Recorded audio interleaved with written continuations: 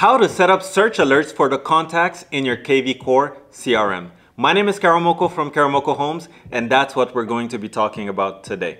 It's very, very easy. I'll walk you through step by step. You do not need any prior knowledge before watching this video.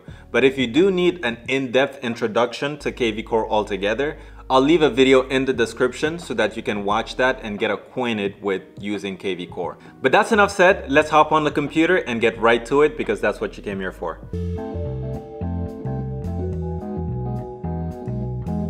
Alright, so when you log on to KvCORE, you're probably going to see your dashboard first, okay? So the place we want to go to to set up a search alert for a client or, or, a lead in your system would be under the Smart CRM tab. And it's under the Smart CRM tab you can find all of your contacts, okay? And the Smart CRM tab is going to be on the left-hand side under this uh, dark gray menu. If you don't see this menu, it's probably because the menu is collapsed and you would want to press on the three bars at the top left of the website, okay? So I'm gonna do, do as such and then it's going to expand this menu and then you will be able to see the Smart CRM. So after clicking on Smart CRM, you will see all of the contacts within your database, okay? So I do not wanna share any personal information for any of the clients I have on my system, so I always use fake contacts for these tutorials, okay? So in this tutorial, we're going to be using Alicia right here, who's in my system. Alicia is not a real person, so please don't try to call Alicia. Uh, it's just a fake uh, contact, okay? So I just clicked on Alicia and notice that a box will pop up with more information on Alicia, okay? So we're going to be focusing on the right-hand side of this contact panel. Okay, I call it a panel, you could call it a box or a pop-up window, but on the right-hand side, we're going to notice we can take certain actions, okay? But we're not going to click anything within the actions box. We're going to actually look a little bit under that. And if you notice, it'll have an option right here that says property alerts, which is the whole topic of this video. You guessed it, that's where we're going to be working on. So if I wanted to set a property alert or a search alert for Alicia, this is exactly where I would go to do that. Okay, so you guessed it, we're going to click the add button right next to property alerts like such. And once I click add, it's going to open up another tab under Alicia's contact. Because if you notice up here, it still says Alicia's name, okay? Um, so I wanna make it clear, you do not have to do it this way. There's multiple ways for you to actually create a property alert or property, uh, a search alert so method one could be to just go ahead and click add right here like I just showed you. Or from this menu, if you notice at the top right here, you actually have different tabs you can click on. One of those is alerts, okay? So if I was to click alerts right here, it's gonna take me to the same exact place. Okay, so once you're on this page, this is where all the magic happens and where you can actually create that alert for your contact. And in our example, it's going to be Alicia for this one. So already notice at the top, we have two options, alert one and alert two. So you guessed it, you can only create up to two alerts per contact as of the making of this video. Okay, so one single person can have two different search alerts um, you know, enabled at the same time and receive notifications for each of those alerts based on the criteria as you set. So we're gonna be doing one together and the second one's gonna be the same exact thing, okay? So there might be situations where a single client is looking for two different types of properties, maybe for themselves or for somebody else they're shopping for.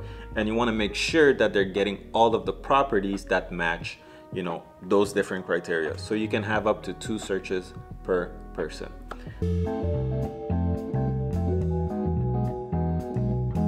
So right now we're going to click on alert one and that's where we're going to create the first, you know, search alert. So let's say, for example, Alicia here was looking for a three bedroom, two bathroom, single family home in a, a, a city of our choice. Let's say the city of Lomita, for example. Okay, if you're not in California, you probably have no idea what city I'm talking about, but the same would apply on any city in your um, respective state. So at the top right here, notice that we have plenty of fields we can fill out. So all of these fields are basically the criterias. KvCORE is gonna look within to find, you know, properties to alert our contact with.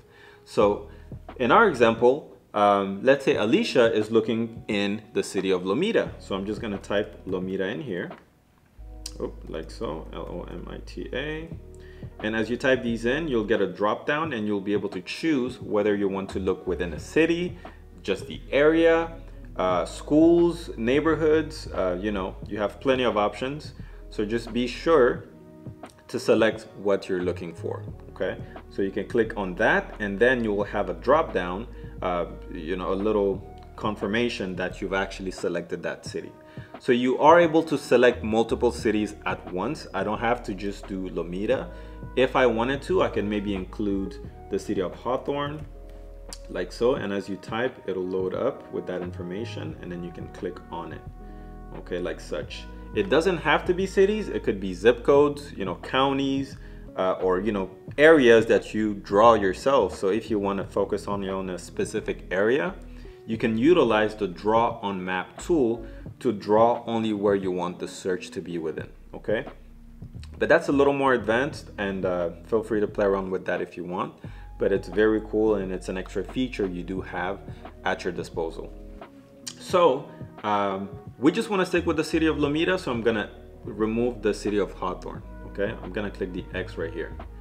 All right, so after I have done that, I'm gonna scroll down a little bit now we get to select the type of listing we want to you know generate from our search okay? Because I don't want Alicia to just get everything because Alicia is not interested in everything.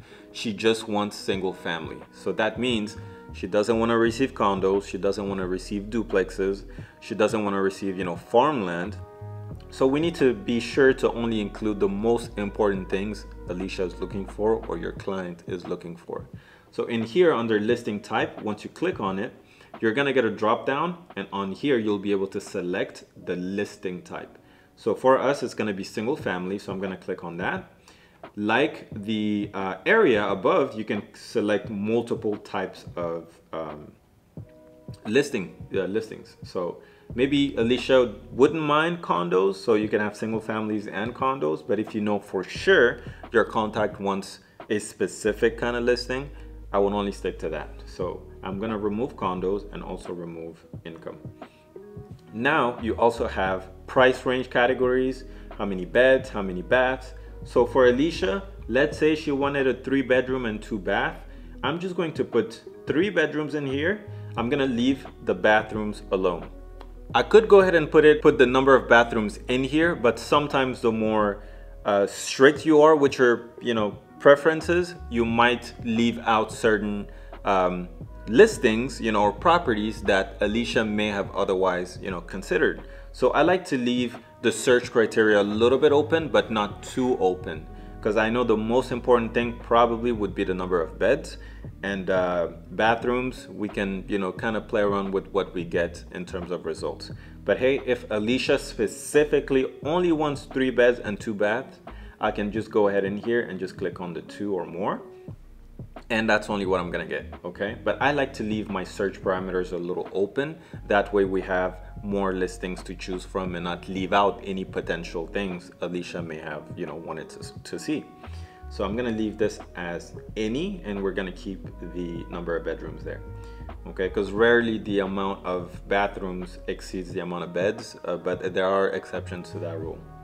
So just like with that, you can also, you know, select how many, the square footage, how many acres, the year built, you can filter based on all of that.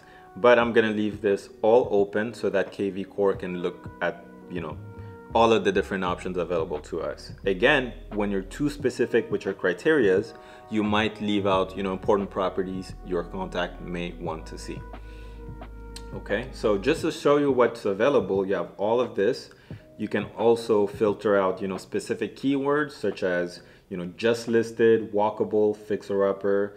If your contact is interested in any of these, um, you could go ahead and check those on here. But yet again, remember, the more specific you are, the less you're going to receive in results. Okay, so leave as many fields as open as possible, I would say, just to kind of get the ball rolling and get them seeing, uh, get them to see some properties. okay? And then all the way down, you have a very important field called frequency. So under this field right here, you can choose how often will the contact receive emails, uh, you know, including all of these results. So you can have this be once a week, as soon as possible, meaning whenever something comes on the market that matches those criterias, the lead will be emailed immediately. Okay, you can do it daily, twice a week, once a week, twice a month, or just monthly. Okay. So depending on the urgency of the lead or you know your communication with the lead, just kind of gauge how often they would like to receive these emails. Um, and don't, try not to bombard them either if you don't know. Maybe once a week might be ideal, maybe twice a month. Uh, it's up to you and you know your connection with the lead. Okay, but as a rule of thumb, I usually do um, you know once a week, and uh, yeah, so last but not least, you have the email CC. Whatever email you put on here will be CC'd, so that way you can also get the email and see what's being sent to your clients. So it might be a good idea to pop your email in here and um, yeah, always stay up to date as far as what's going on and what's being sent out. Okay. Once you have all of those criteria set, you can go ahead and click set alert or save and send. So the, there's a difference between these two, okay? The difference is when you click on set alert, this will take effect, it'll be saved, and it will start on the next. Um, uh, so th this is the best way to explain this. so if I was to set this alert, one will not, results will not go out immediately. It will wait for, you know, the next week to start sending them out because right now I have it sent on once weekly. If I had this set on daily, it will not send one immediately. It'll wait for the next day to start the cycle. Okay. If I was to do it once a month, it's going to wait a month before it starts sending those out. Okay.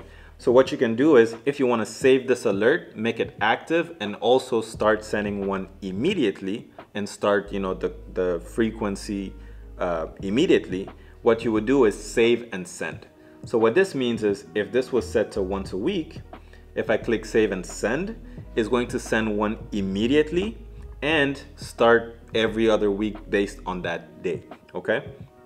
Hopefully that made sense. If that was confusing, uh, leave a comment in the description so we can talk about it or book a one-on-one -on -one consultation with me so we can tailor this to you and your client. Okay, it's absolutely free. Link in the description or scan the QR code that pops up, you know, here and there within this video.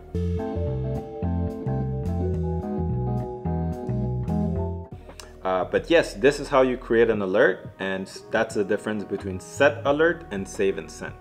So I'm going to set this alert, okay, which means it's not going to be sent out immediately. It's going to wait on the next, you know, week to send this out because that's what I set, okay. So once you set up the alert, you'll notice that you're, you're gonna get a results tab. All right, so the results tab, this is where you can see all of the results, you know, that match the criteria we've set. If you notice, we have two properties. Uh, one of them is a three bed, two bath, and as you can see, it does fit my criteria. I wanted at least three bedrooms, and I didn't specify a number of bathrooms. If you notice here, still matches the criteria. We have at least three bedrooms, but it looks like we hit a match with more than three and we hit with five beds and this one has two baths and uh, also one half bath it looks like. So here you'll be able to see all of the results and you also get to see obviously based on this what's going to be sent out to the client.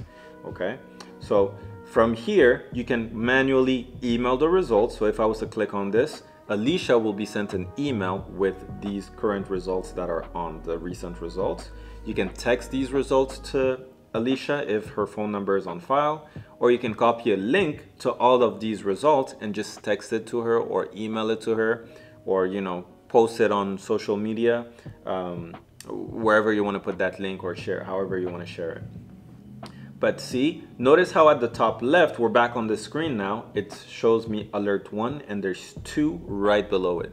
So what that tells me is there's two results that came out of you know this search criteria or search alert. So here I can already see there's only going to be two properties sent out so far.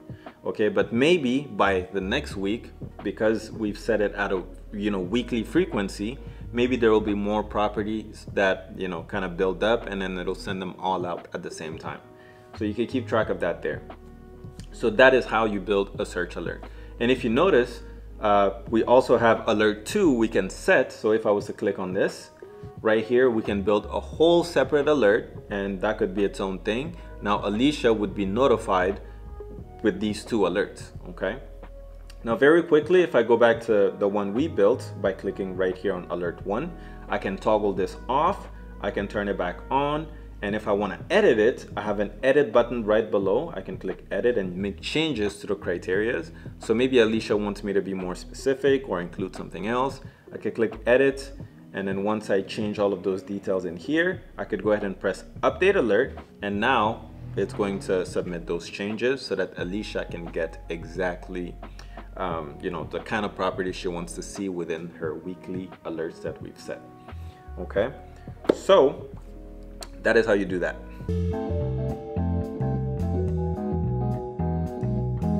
Search alerts are a great way to, you know, have some online, you know, traffic to your KvCORE website. Because at the end of the day, we want to collect as many leads as possible and get people to keep going to our website to keep looking at properties.